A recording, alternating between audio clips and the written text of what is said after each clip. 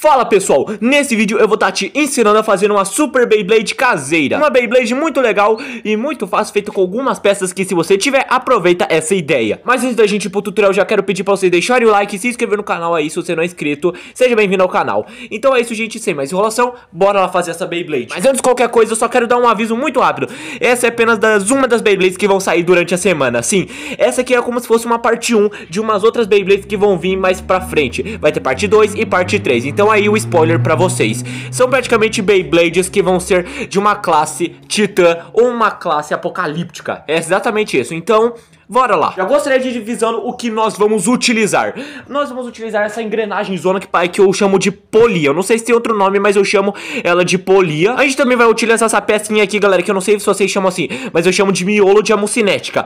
É uma, é uma pecinha muito da hora e muito legal, que inclusive a gente fez o tutorial, nosso último tutorial foi da, dessa peça com fazendo uma nova Beyblade muito da hora. E daí o clássico que a gente vai utilizar, que no caso é a tampa de detergente, a gente também vai utilizar uma bolinha de metal, a gente também vai utilizar tesoura e também a gente vai utilizar cola. São esses os materiais, bem facinho. Eu acho que a única coisa de dificuldade mesmo pra achar são só as peças. Mas de resto a gente consegue fácil. Vamos deixar as peças do lado aqui porque nós vamos começar montando a tampa de detergente primeiro. E tudo que a gente vai fazer, obviamente, nós vamos primeiro precisar da cola e da tesoura. Da cola não, da tampinha de detergente. E é o que a gente vai fazer, nós vamos tirar essa partezinha da, da, da ponta aqui, ó. E a gente vai tirar esse meiozinho aqui da, da tampinha de detergente. Provavelmente vocês conhecem daquele jeito clássico mais ou menos assim, galerinha. Daí a gente vai tirar essa partezinha aqui.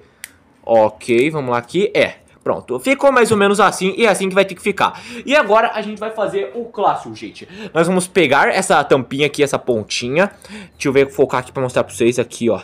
Aí, ó, essa pontinha.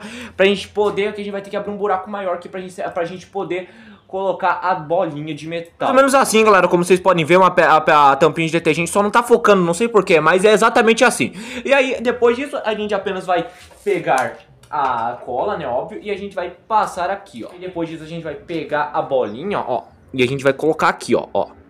Aí logo após essa fazer essa parte, a gente vai pegar de novo a cola e a gente, só que dessa vez a gente vai passar aqui do lado, gente. A gente vai passar aqui do lado pra gente tá podendo arrumar melhor assim, ó, ok? E daí depois disso a gente apenas vai pegar a outra tampinha e a gente vai encaixar. Aí galera, como vocês podem ver, eu mudei o tamanho da bolinha da de detergente porque aquela tava muito pequenininha, mas isso não atrapalha o tutorial e não faz mal. E agora para o próximo passo, agora a gente vai lidar com as peças.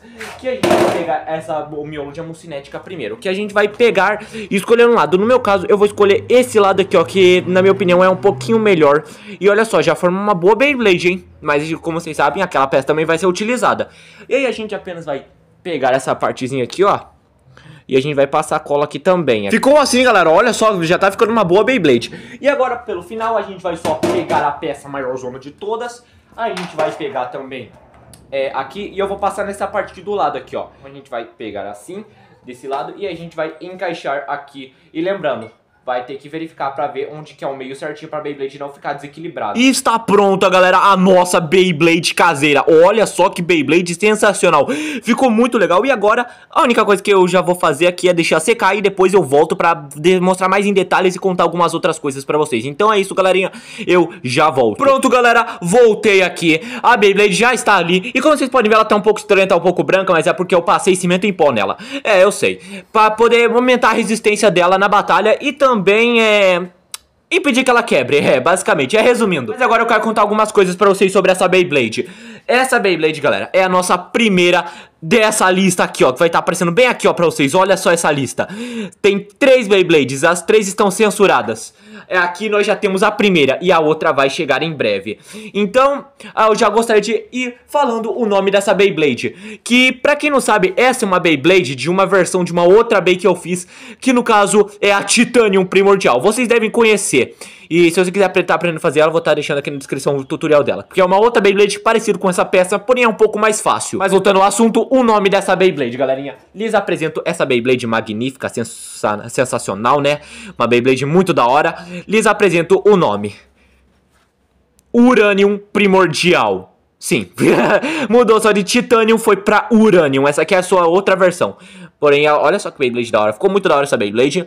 Então esse é seu nome, uma Beyblade muito legal. Porém, agora vem a parte que vocês querem ver. Testar a Beyblade. Então, vamos lá testar. Pra gente fazer isso, eu peguei uma corda, galera, e o meu lançador. Então a gente vai. Tá, vamos testar então a Beyblade. Vamos lá, então, pegar aqui a Beyblade e a gente vai amarrar. E eu vou dar uma dica pra vocês amarrarem a Beyblade bem rápido. Vocês pegarem com o dedo em algum lugar que seja seguro. E aí vocês vão.